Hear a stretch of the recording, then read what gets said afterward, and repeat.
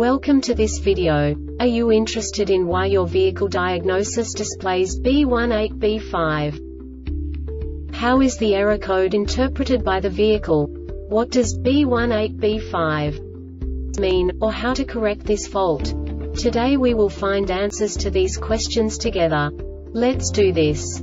First, let's look at the history of diagnostic fault code composition according to the OBD2 protocol, which is unified for all automakers since 2000. We divide the electric system of automobile into the four basic units.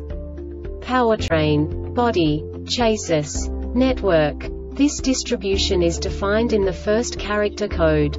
If the second character is expressed as zero, it is a standardized error.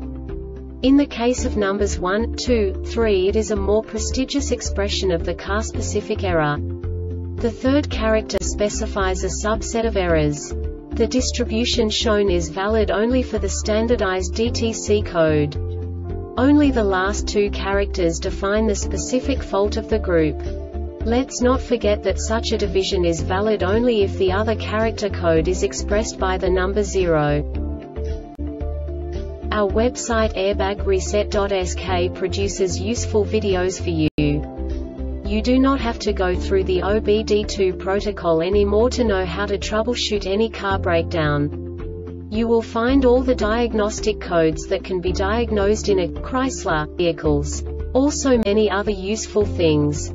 The following demonstration will help you look into the world of software for car control units. You unbelievably can move the video a bit further. The error code is split into two bytes consisting of 16 bits. One bit is the basic unit that each computer works with. The bit has two logical states. 0, low level, 1, high level. By combining the first two bits, the basic character of the error code is expressed.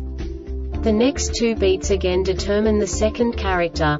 The last beat styles of the first byte define the third character of the code. The second byte is composed of a combination of 8 bits. The first 4 bits determine the fourth character of the code. And the combination of the last 4 bits defines the fifth character.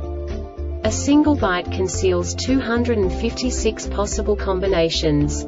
We now know in what way the diagnostic tool translates the received information into a more comprehensible format. The number itself does not make sense to us if we cannot assign information about it to what it actually expresses. So, what does the diagnostic trouble code B18B5 interpret specifically Chrysler car manufacturers? The basic definition is Invalid data received from headlamp control module B invalid or incomplete configuration. And now this is a short description of this DTC code.